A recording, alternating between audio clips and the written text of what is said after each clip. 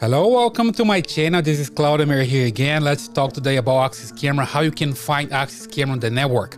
It's pretty easy. You can come to the axis.com. It's the Axis Communications webpage and you look for IP utility. That's one way you can find your camera. So with this utility, you just click on it. Click here on free downloads, look for the latest version, download again, and just click on the file and here you go. Pretty easy. It's like, like a standalone application. It just opens up and finds your camera on the network. As you can see, I have my camera with IP address 192.168.0.52. It's not the default IP address because I have a router here on my network that gives the camera an IP address. As soon as I connect my camera to the network, it gets an IP from the router, right? If you don't have a router in your network to give your camera an IP address, the camera is going to use the default one, which is 192.168.0.90, okay? It's not my case here. I have the IP address of the camera.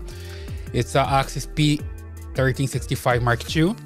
So I just double click on the camera and here you go. It opens a web browser. And the first time that I log into the camera, when I try to log into the camera, I need to set up a password.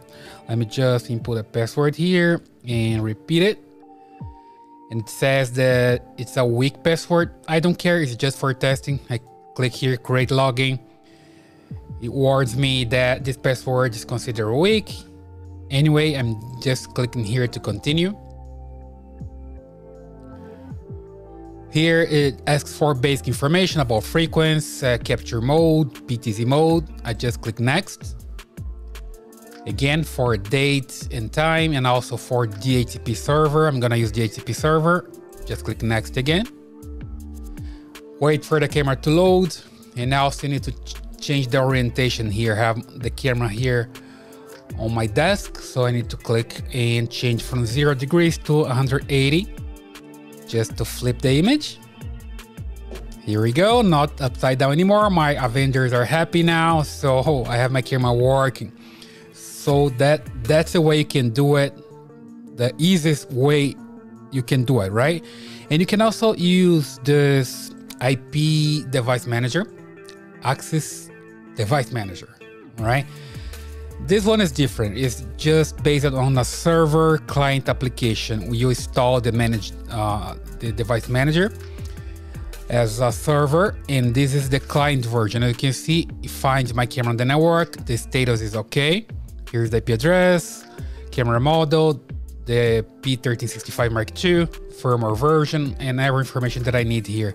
And as you can see, I have another camera, but there is an red X, which means the camera is not available right now, but the camera was available before. That's why I have here, the server has information about the camera. So basically I have a database of the cameras that were connected to my system before. Every time I connect a new camera, it goes to the database and I have the information here, okay? So sometimes a little bit confusing because if you just refresh here, trying to look for a new device, it's not really doing that. It's just reloading the device that I have here already on the database, on the server, okay?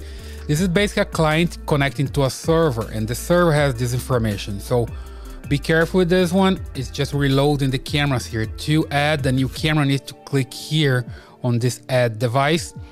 And then the software, software is going to look, look for the new cameras on the network.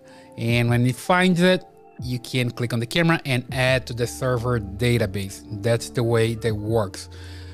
As long as I have the cameras already here, it will not find any camera anymore. I already have them here, okay? And that's the way you can find your cameras on a network, Axis cameras, okay? So that's all for today. If you like this video, please uh, subscribe to the channel, leave your thumbs up and your comments. I see you in the next one.